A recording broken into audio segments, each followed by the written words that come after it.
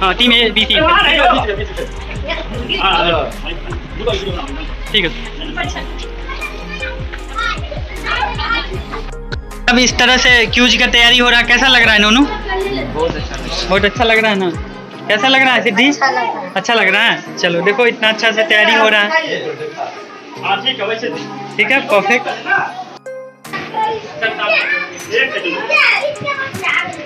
राज्य में कौन है एक आप संगीता ये तीन दिवसीय बिहार दिवस 2022 का 22 मार्च से 24 मार्च तक तीन दिनों का आयोजन था इसमें हम लोग प्रभात फेरी 22 मार्च को किए थे। आज अंतिम दिन है। अंतिम दिन में हम लोग कुछ वर्क करने जा रहे हैं इसमें कुछ आयोजन हो रहा है। और ये आयोजन सबसे पहले हम लोग करेंगे फ्यूज का। ठीक है ना? उसके बाद वाद विवाद प्रतियोगिता होगी, फिर चित्रकला की प्रतियोगिता। ठीक है ना? तो इसमें सबसे पहले क्यूज में क्यूज में चार टीम बनाया गया है। चार टीम बनाया गया है, टीम नंबर एक, टीम नंबर दो, टीम नंबर तीन, चार। मतलब ए बी सी डी ठीक है ना? ये चारों टीम है। टीम ए जो है, वो खड़े हाथ उठाएँगे। टीम ए कौन है? टीम ए में नुनू कुमार और सिद्धि विनायक सुमन है। ठीक है? टीम बी में अर्जुन कुमार मल्लिक और खुशी कुमारी है। हाँ टीम सी में अंतरा कुमारी और अनामिका कुमारी है। टीम डी में आशीष कुमार और रोनित कुमार है। ठीक है? आप सभी का इसमें स्वागत है। क्लैप करो एक बार। आप लोगों में जो प्रथम स्थान आएगा उनको तो प्राइज मिलेगा ही। और जो भी प्रतिभागी भाग लेंगे भाग लिए हुए हैं सभी को प्रशंसा पुरस्कार ज़रूर मिलेगा और सेकंड थर्ड प्राइज भी मिलेगा। हाँ इसमें होस्ट कर रहे हैं आपको इसी विद्यालय के सीनियर स्टूडेंट रोशन कुमार और ज्योति कुमारी ज्योति कुमारी कहा गई? ज्योति कुमार ज्योति हाँ। हाँ होस्ट कर रहे हैं रोशन कुमार और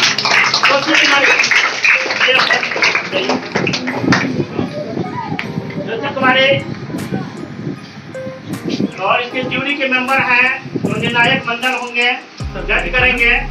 उसमें है संगीता, अलका भारती और धनंजय कुमार। ये सभी जज करेंगे। और यही आप लोगों को रिज़ल्ट देंगे कौन प्रथम स्थान पाए कौन द्वितीय स्थान पाए कौन तृतीय स्थान पाए। ठीक है ना? चलिए ठीक है। होस्ट रोशन कुमार ये सर आप क्वेश्चन पूछें। टीम ए से आप लोग नंबर दीजिएगा कोई जवाब मिल के जवाब कोई जवाब दे सकता कोई जवाब दे सकते ठीक है? पाँच क्वेश्चन पूछे जाएँगे ठीक है तब हम नेक्स्ट आ जाएँगे टाइम लिमिटेड रहेगा मतलब चलो बताओ बिहार के प्रथम तेल शोधक कारखाना कौन सा था? ठीक है? कौन सा? आगे बढ़ो ना टाइम नेक्स्ट चलो नेक्स्ट हम पूछ रहे हैं। दोनों नहीं हो पाया? बीस बीस बीस प्रोनाउंसिएशन तुम्हारा गलत नेक्स्ट यही क्वेश्चन नहीं नेक्स्ट हाँ, मतलब इसको कंप्लीट कर लेते हैं पहले नेक्स्ट क्वेश्चन तुम ही लोग से। बिहार का प्रथम स्टेडियम कौन सा है और कहाँ स्थित है? इधर पटना से। इधर पटना से। कौन सा है नाम? बताओ दोनों में से कोई भी।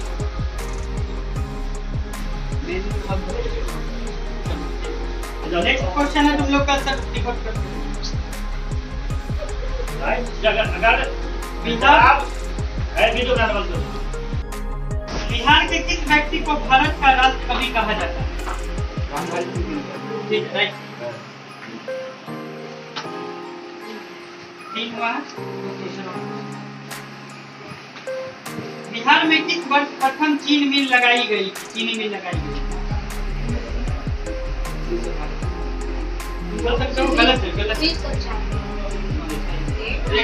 राइट कर दीजिए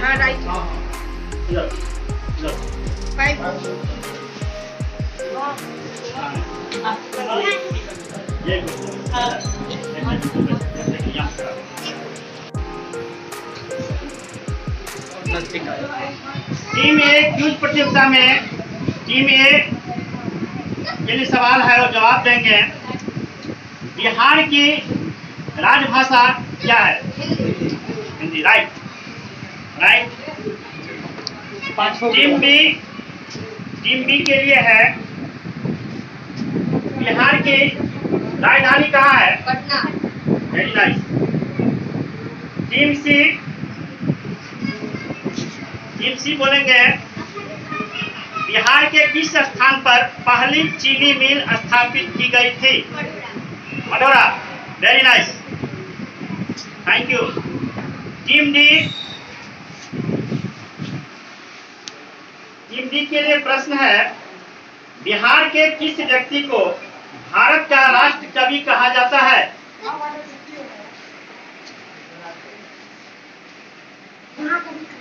महाकवि रामधारी सिंह दिनकर क्या बोल रहे थे आप? इनको नंबर काट दीजिए। चलिए। अब फिर टीम डी ही बोलेंगे टीम डी ही बोलेंगे। बिहार में कितने ज़िले हैं? टीम डी बिहार में कितने ज़िले हैं? Thank you team A.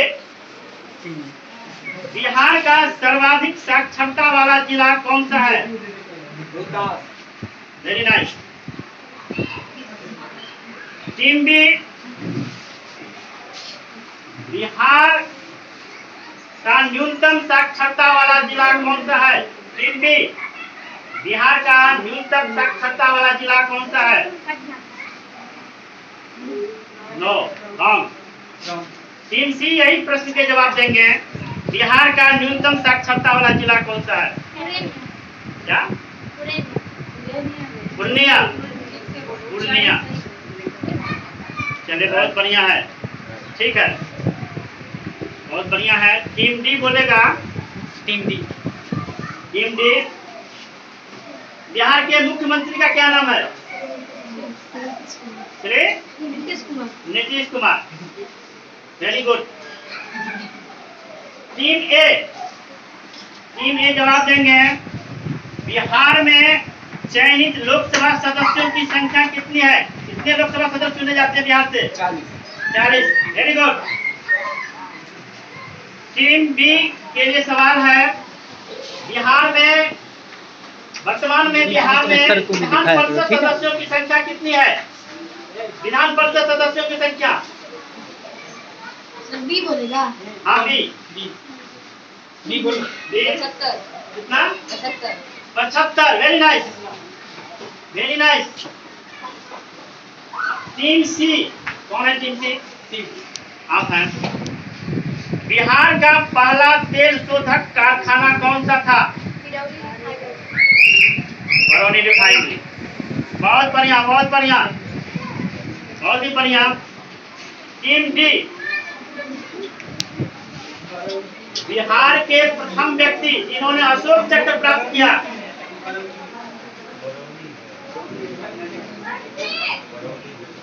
Team D. Bihar के प्रथम व्यक्ति जिन्होंने अशोक चक्र प्राप्त किया।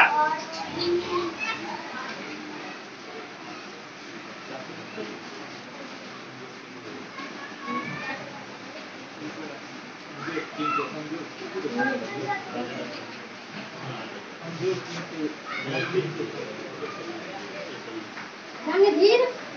Randhir Kumar Verma very nice very nice very nice बहुत ही बढ़िया बहुत ही बढ़िया। टीम डी का जवाब रहा बिहार के रणधीर वर्मा जो थे वो तुम्हें पता होगा कि जो में एक मुठभेड़ में वो मारे गए थे धनबाद में उन्हें बिहार उन्हें प्रथम अशोक चक्र मिला था बिहार के प्रथम व्यक्ति थे। टीम ए बताएँगे बिहार में किस वर्ष प्रथम चीनी मिल लगाई गई थी? उन्नीस सौ four thank you very good team B बताएँगे बिहार के किस स्थान पर पहली चीनी मिल लगाई गई थी? Team B? नहीं। No team team C? बताएँगे यही क्वेश्चन बिहार के किस स्थान पर पाली चीनी मिल स्थापित की गई थी? Madhora very nice Madhora. बहुत बढ़िया। अच्छा चलिए कोई दिक्कत नहीं। टीम डी टीम डी के लिए क्वेश्चन है। भारत के प्रधानमंत्री का क्या नाम है? Shri Narendra Modi. Shri Narendra Modi. Very good very good team एक के लिए प्रश्न है कर्नाटक की राजधानी कहाँ है? टीम ए के लिए प्रश्न है कर्नाटक की राजधानी? बेंगलुरु, ठीक है।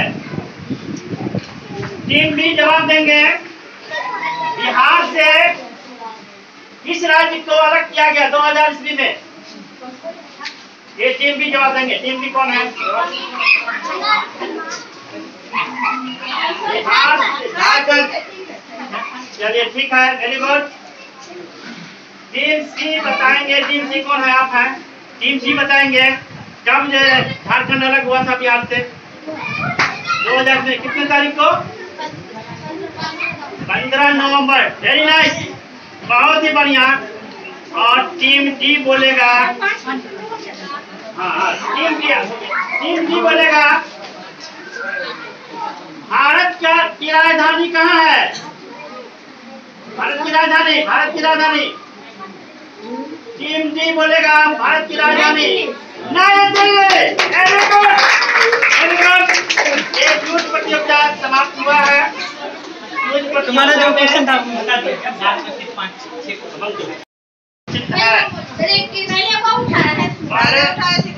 हमारे सिद्धि सुमन बताओ तो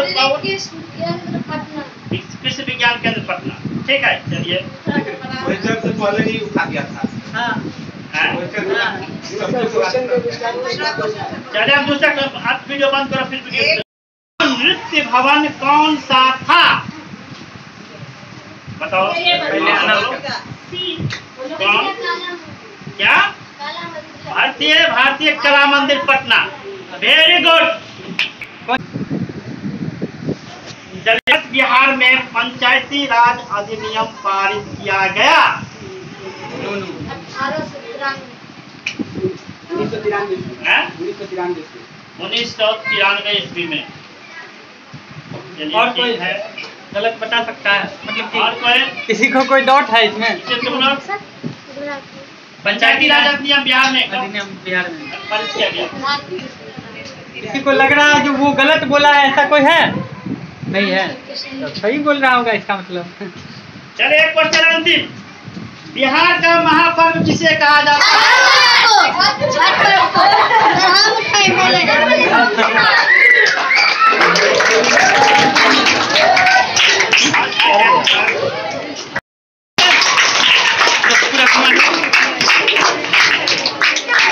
चलिए, बहुत बहुत धन्यवाद आप सबका। गरीब पिता, जिनके पास पाँच और छह बेटियाँ हैं, आप उनसे जाके पूछिए, जब उनके घर में बेटी पैदा होती है, तब तो उनको पता चलता है या फिर वो पे- कपड़ा कम अपना जो उनकी बेटी बड़ी हो गई बड़ी होगी तो वो पैसा बचाते हैं जो उनके हम पर मतलब शादी करेंगे। वो वो अशिक्षित रह जाते हैं मतलब टेंथ करवा दो मतलब बैठा दो घर में। टेंथ करा दो बैठा दो। तो इस पे दो ठो बात करो, आवाज़ आएगी। पहला शिक्षा पूर्ण उसको नहीं मिल रहा है। नहीं मिल रहा तो है इसका मतलब बाल विवाह हो रहा है। बाल विवाह अब करेंगे। बाद